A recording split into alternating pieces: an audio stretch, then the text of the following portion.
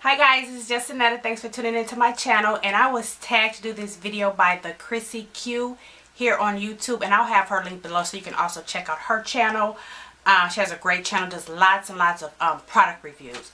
Okay, so jump right into it. I think it's like 15 or 16 questions. So my hair's nickname. I currently do not refer to my hair by um, a nickname or anything. But early on, like a year or so ago, I was calling her Addie because she always had an attitude. And then I even gave her a, middle name of Tempe because my hair was very temperamental. And my hair is still um, temperamental and just does what it wants to. Still has an attitude for no apparent reason like a kid. But I just don't, it just, those names didn't stick. It just wasn't natural for me to call my hair by a name. Okay, um, let's see. My hair's birthday is August 30th. So this August 30th will be two years on my new natural journey. Um, six years prior, I wore locks for six years. And I'll try and include some pictures. I have to dig some up, but I'll include some pictures of my, um, some of my lock days. Let's see, um, the color of my hair. So, the natural color of my hair is like a dark brown and it's real dusty and so I like to keep it um, colored black. I like to put a black rinse on top of it and then I have like a gray Morgan Freeman patch right in the front and right now I like to keep that covered up. What is my hair type? I am definitely in the family of four according to the chart that's out okay um, and a lot of 4C going on in the front and then 4B around the back and the crown part.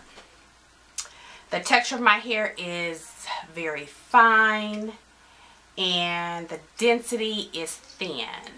So um, when I do my twist outs, I have to do a lot of pulling and manipulating to get my hair to look full because it's, it's very thin, fine and thin. What is my hair porosity? It's, it's high according to the test that I did Drop a clean strand of hair in a um, glass of water. If it floats to the bottom, you you have high porosity hair. If it stays at the top, it's low. So I have high porosity hair, which means absolutely nothing to me because um, it just doesn't mean anything. I my hair, I just take care of my hair like normal, and in fact, I don't even really really know what the characteristics of high porosity it has a lot to do with moisture retention, how your hair absorbs moisture, holds on to moisture, and all of that. My hair speaks to me. Me and my hair we we got this thing going so i know what my i know what my hair needs. Like if it needs moisture if it needs um, a protein treatment which is hardly ever um, i just know what my hair needs. So anyway hair elasticity is normal. If i pull my hair it bounces back. Like i think that's what it's supposed to do um, do i have any medical history or setbacks for my hair? Um what I'm paying attention to now is my edges. All the men in my family are bald and some of the women hair is thinning like female pattern baldness and my edges have thinned out quite a bit. Like I got these spots right here that are thinning and it's just something that I've noticed throughout the years and I just got my eye on it let's see um my best hair memory my best hair memory would have to be um, I got distracted. Sorry. My best hair um, memory is my locks. And again, I'll add pictures. I loved my locks. I only got rid of them because, I don't know, after six years, I cut them. And then after that, I don't know, the journey was just over for me. I wanted my hair to be loose. So that is my favorite hair memory.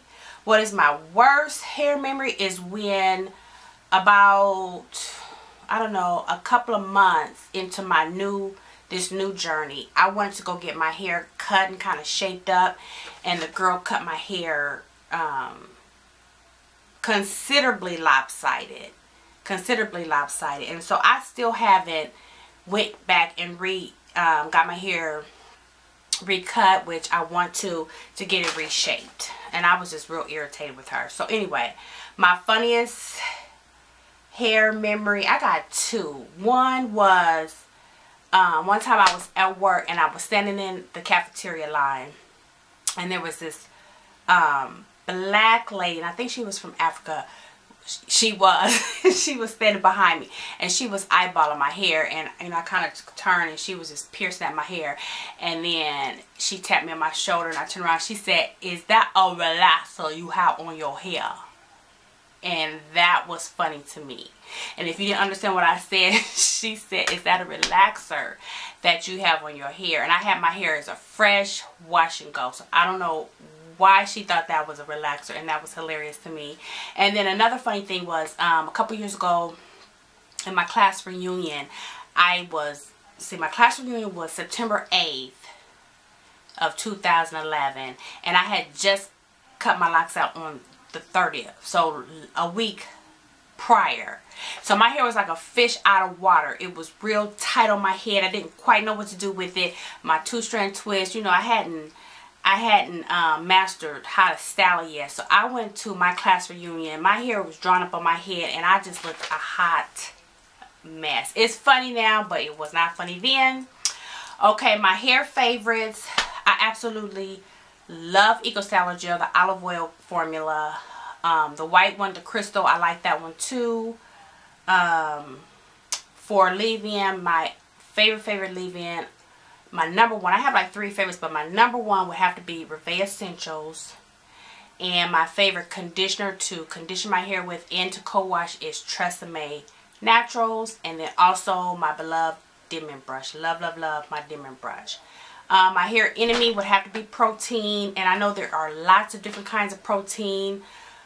Um, hydrolyzed protein, some wheat germ protein, soybean protein, and some of them are have softening agents in it to make your hair soft. I don't know, but I stay away. I try to stay away from all protein, um, at least for um, overkill. I definitely can't overkill on the protein. My hair will start getting really, really hard. Let's see, have I met any of my hair goals? Yes. I wanted to master the twist out and the wash and go and just get to that point of no matter what's going on, I can style my hair and um, not panic. So even the next morning, if I didn't like how my twist out turned out, I can put on a headband and put my hair in a puff or do whatever.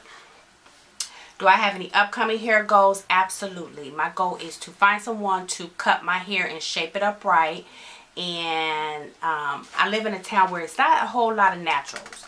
And it's definitely not a whole lot of people who specialize in natural hair. So I'm just kind of keeping my eyes and ears open for someone. Even if I have to travel, if I'm traveling this summer, I may look up someone and get my hair professionally cut and shaped. And I think that's it. So that was a fun tag to do. If you make videos, if you're watching this video and you make videos and you haven't been tagged yet, consider yourself tagged. And I look forward to seeing your video. And I'll see you guys later.